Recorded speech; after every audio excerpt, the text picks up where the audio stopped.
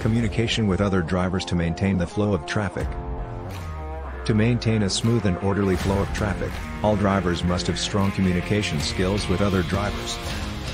Even if you have no control over another driver's behavior, if they make their intentions clear, you can change how you drive to minimize disputes and interruptions. Always keep an eye out for other drivers changing lanes, turning, or slowing down. You must also let other drivers know your intentions.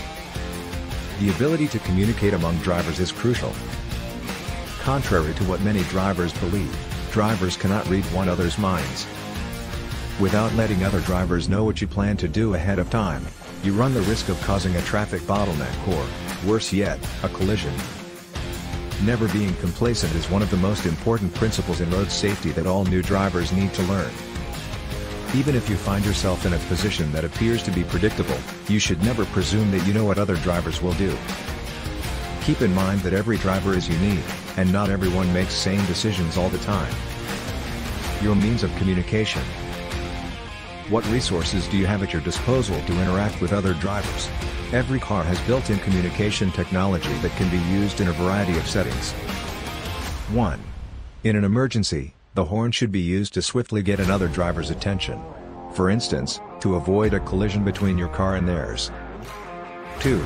You can alert other drivers to your intended route change by using a signal light. 3. Brake lights alert drivers behind you when you want to slow down. 4. Hazard lights alert other drivers that your vehicle is inoperable or having trouble.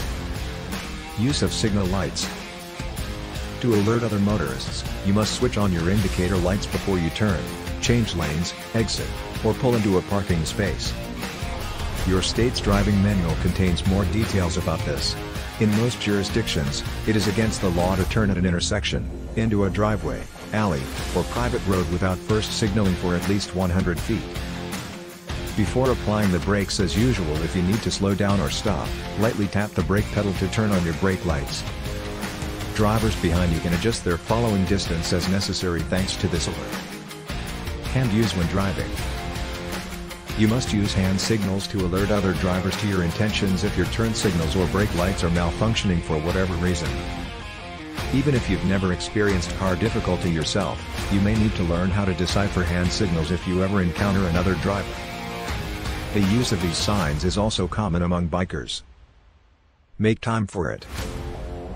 Before making a maneuver, be sure to give the drivers in your vicinity adequate time to register your communication.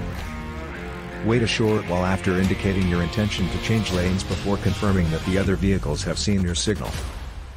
Nearly as harmful as not signaling at all is signaling too late.